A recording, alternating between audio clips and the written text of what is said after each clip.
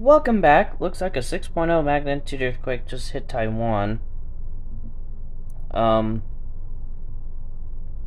at 10:03 p.m. Central Standard Time. There's a coordinates depth of 8 kilometers, and we're going with. Okay, so this is going um, 77 miles east of Taichung, Taiwan, with 1,040,000 people. 12 yeah, this would all be 12:03. I want to say p.m. local time. There's also you know, 20 miles southeast of Hualien City, Taiwan, with 350,000 people. So we do have some photos here. Um, so first, this yeah, it happened off the coast. Um, and we do have this here. Um, got a lot of felt reports submitted so far. So there's that. Um, and got 15.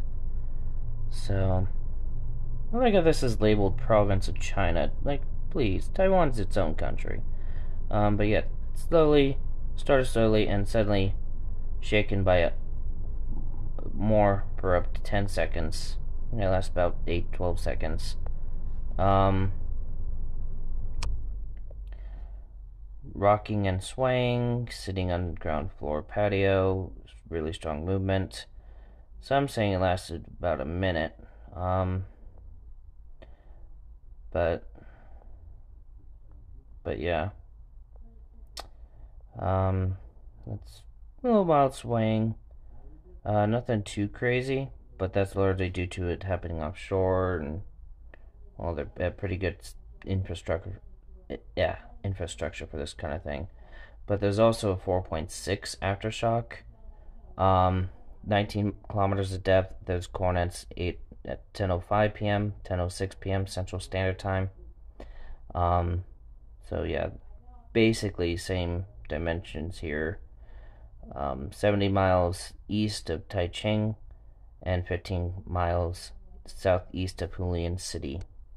So, and no pro report submitted for this one. Okay, this one's, yeah, offshore as well. Um,